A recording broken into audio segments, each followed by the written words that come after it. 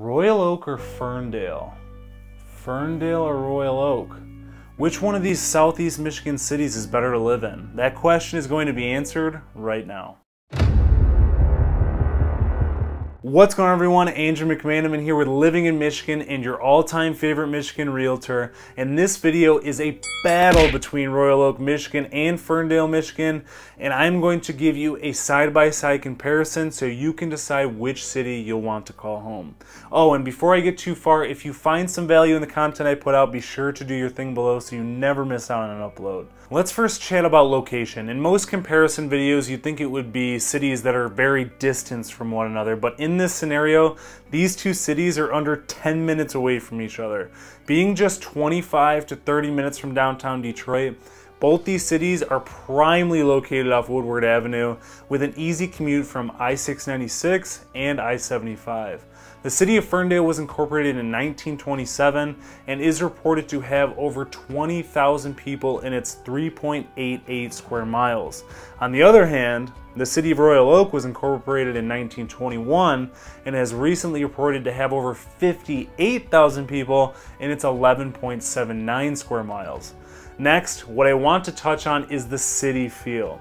Even though these cities are just a few short miles away from each other, they still give off their own unique feel.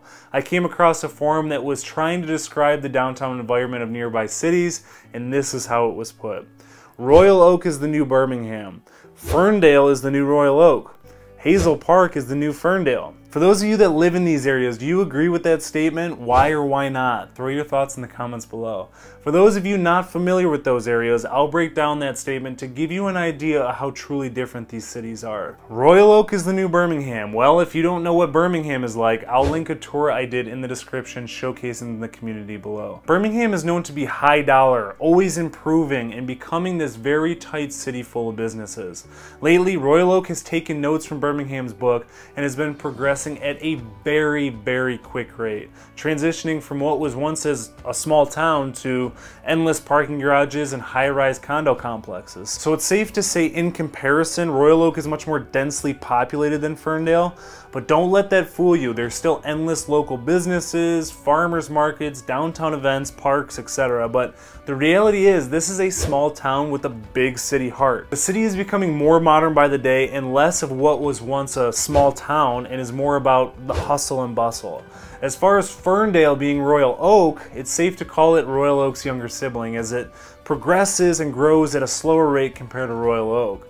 Being as the city is not even four square miles, it's safe to say the city will maintain that small town feel since there's not a lot of room to build up like there is in Royal Oak. But since these cities are so close together, it's been pretty obvious that they've complemented each other greatly as they continue to grow over the years. Oftentimes, these are the cities that a lot of people spill into after watching sporting events in downtown Detroit, like the Detroit Red Wings, the Pistons, the Lions, and the Tigers.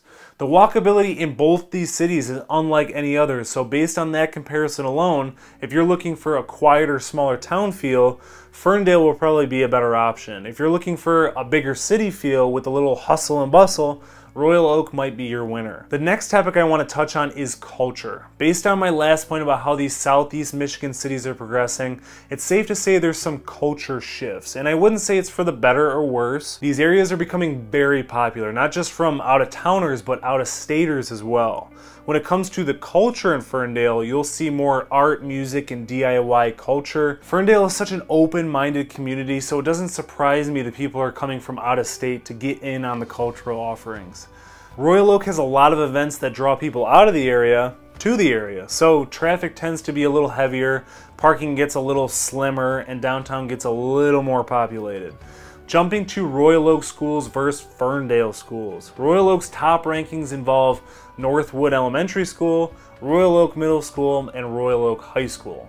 Ferndale has Ferndale Upper Elementary School, Ferndale Middle School, and Ferndale High School. Royal Oak High School has earned the College Success Award, which recognizes schools that do an exemplary job getting students to enroll and stick with college in the years of 2018 through 2021. Ferndale High School earned the award as well just in 2020. In a district school summary rating by greatschools.org, which uses metrics such as academics, equity, and the school environment compared to other public schools in the state, Royal Oak earned an above average school quality rating, whereas Ferndale earned a below average school quality rating. Next up, let's talk about things to do. It's no secret that Royal Oak and Ferndale have a ton of things to do when it comes to their downtown life. In Royal Oak, there's the Detroit Zoo for all your animal lovers out there, the Royal Oak Music Theater to get your fix on music and comedy specials, Mark Ridley's Comedy Castle full of comedic talent, getting your drink on at Motor City Gas, which is home of some of the most unique whiskeys, and trying out your skateboarding skills at the Modern Skate and Surf. And of course, don't miss out on the huge Arts Beats and Eats Festival that happens over Labor Day weekend, full of unique arts, great musical performance, and a whole lot of eats to say the least. In Ferndale, get your axe throwing game on at Detroit Axe, celebrate at the DIY Street Fair that runs from September 23rd to September 25th this year that involves art, musical entertainment, food trucks, and a whole lot of drinks from Michigan's own breweries, wineries, and distilleries. Get lost in the fifth wall escape room and get your virtual reality experience at VR Plus Zone. Now that I touched on things to do, it's time to tackle the restaurant scene. Starting off with Royal Oak, we have the one and only Ale Mary's Beer Hall, a place not to drink some of Michigan's best brews, but also to have breakfast, lunch, and dinner. Another spot is Pinky's Rooftop, which is an innovative bar located in downtown Royal Oak with a wonderful rooftop view and also offers unique drinks and food options. Be sure to make your reservation now so you aren't amateur like me thinking we could get a seat without one at prime time. And since we couldn't eat there, we found ourselves in Mesa Tacos and Tequila, which just so happens to be the two greatest things in the world tacos and tequila. If you're a nacho fan like me, consider making a stop over there. I doubt you'll regret it. And last but not least, one of Royal Oak's hidden gems, no pun intended, Johnny's. Johnny's is a speakeasy atmosphere located right on Main Street that serves craft cocktails and unique dishes. You'll want to make a visit, I promise you. Jumping over to restaurants in Ferndale, starting this list off, we have Pops for Italian, which is known to have upscale Italian dishes and pizza. And if you love Italian like I do, you might want to head over there as soon as possible. Next, we have Public House. Public House is a unique eatery with creative burgers and other comfort foods in a cool, rustic setting. Next on the list, we have One Eyed Betty's, which is a casual place with American food with music and pinball. It's not necessarily anything too special, but that's okay sometimes, especially in a city that is modernizing by the day. Next, we have the Assaggi Bistro. I might have just butchered that name, I'm, I can almost guarantee it.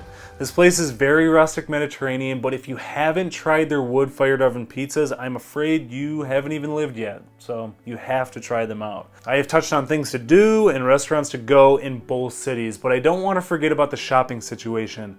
Since there's so many great places to name, I will link both of the city shopping situations in the description below if you're interested in checking that out. All right, enough messing around here. Let's talk about the economy cost of living, and job opportunities in both of these cities. Taking a look at this table provided by bestplaces.net, we can see the overall cost of living index for both cities based on a 100 point national average. Ferndale sits at a 96.8 while Royal Oak is just over the national average at 101.6. Just so you don't have to do any math in your head, the third column breaks down the difference between each city based on the row. The two points on this chart that stick out drastically are housing and the median home cost. As you can see, Royal Oak is coming in at 106.9 and Ferndale is at 76.6, which is a huge difference, especially for two cities that are less than 10 minutes away from each other. These facts are a perfect example when people are saying all of Michigan is the same, but it goes to show a 10 minute difference is a big one in the Mitten State. Jumping to median home costs, I'll hop over to the MLS to pull real life data and show you the charts. Taking a look at the average sale price in Ferndale, in green here, entire Michigan MLS, which is in blue, and Royal Oak, which is in yellow. You can see Royal Oak is quite a bit higher, which makes sense based on all the information I provided earlier about this progressing city. This graph shows the last three years and shows you the percentage increase based on the last 12 months. Royal Oak's average sale price is $334,214, which is a 12.1% increase from a year ago, while Ferndale's average sale price was $245,074, which was a 6.3% increase from a year ago. I know these charts and facts are super boring, but up until this point, you could have said these two cities are pretty identical, but now with this data laid out in front of you, you can understand that there's a reason Ferndale is on the top 10 list for best cities in Michigan for first-time homebuyers, just based on price alone. The last boring chart I want to show you is all about the month supply, meaning how long will the current housing inventory last before completely running out. As you can tell from the chart, even with the entire Michigan MLS, which is in blue, the trend is most definitely downward. There's just not a whole lot of inventory out there right now, and if there is, it's going pretty quickly. In Ferndale and Royal Oak, it would take just about a month before all current listings were gone, whereas the entire MLS is sitting at a month and a half.